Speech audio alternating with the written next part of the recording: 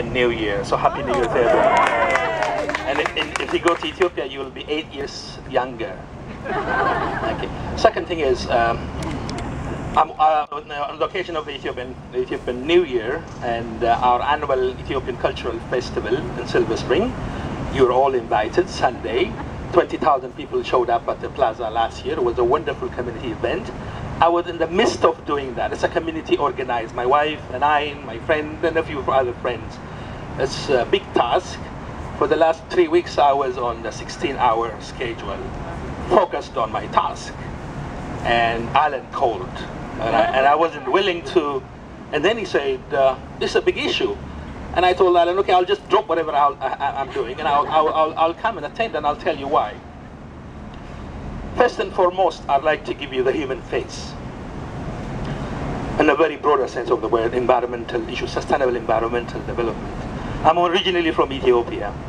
For, the, for some of you know what I do, I have a coffee company, I'm uh, sustainable. I'm the nation's second benefit corporation. I've established a company called Blessed Coffee to, to connect, thank you, to connect 200, 240,000 small coffee farmers with the market, with the consumer here. I was so offended when I looked at the greed that rules the world. The farmers who live an ancient life in the hills of Ethiopia, who labor from sunrise to sundown. I'm saying this, sunrise to sundown. They don't have even have a clock. They have the natural system to work. They only get 1% of the money that we consumers pay on this end. That has locked them in poverty. They can't even afford to eat, a, a, to eat three meals a day and drink a clean water. And this greed-driven system, we are participating in it. We are supporting it. The most important uh, player in the transaction is the producer and the consumer. I live here, I'm a consumer. You're my friends, my neighbor. Good, my neighbors are good people. They don't know what's been done on their behalf. And the system that extracted extract exuberant amount of money from us doesn't give a damn about what we, what is good for us. That is also offensive. The system locks farmers in poverty and exploits us on this side and distracts the environment. This is not acceptable. You know, at my second, uh, in our, the second anniversary of my Blessed Coffee, I told my neighbors, it's good to be politically active and vote once, whatever, but we're voting on a daily basis. Our purchasing power, our political power is not exercised. That's why they do whatever they do.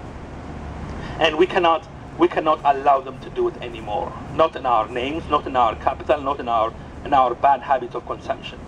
And before I got to the coffee, coffee business, I helped a Silver Spring-based tree planting organization that was promoting community-based agroforestry for social and economic development.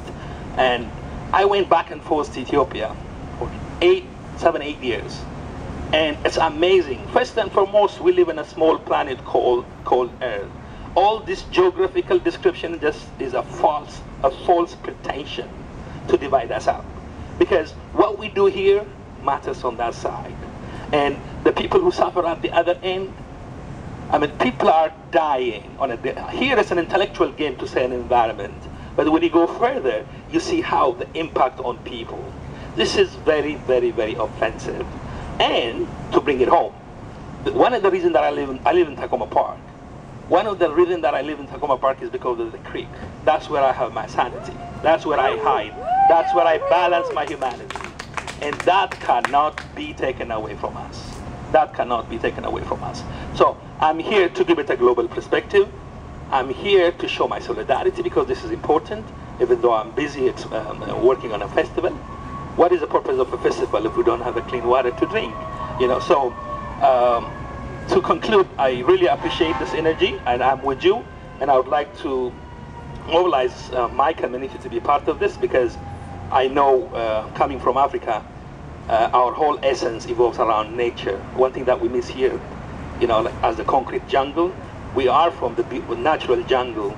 So on this side, you know, by the day, they're turning our, our natural garden into a concrete garden and at a very expensive price.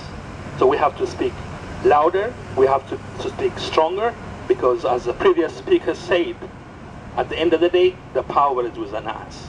And the, the time of protest has to stop. We have to take action to let the powers know we're serious and we take this thing as a matter of life.